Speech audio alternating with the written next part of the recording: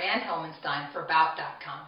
I'm going to show you how to grow borax crystals around a snowflake shape so that you can grow your own borax crystal snowflakes. For this project, you'll need borax, which is sold as a laundry booster and a cleaner, and a pipe cleaner.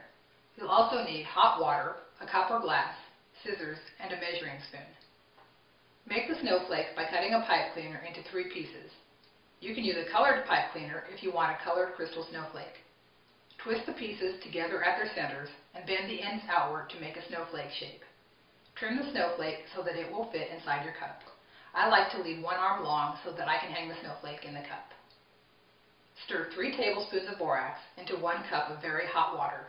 It's fine if there is a little undissolved borax. Pour the crystal growing solution into the cup, hang the snowflake so that it does not touch the sides or bottom of the container, and allow the crystals to grow undisturbed for several hours or overnight. Remove the borax crystal snowflake and use it however you'd like. The snowflakes make pretty decorations.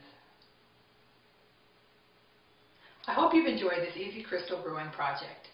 To get ideas for more crystal projects, visit me on the web at about.com. Thanks for watching.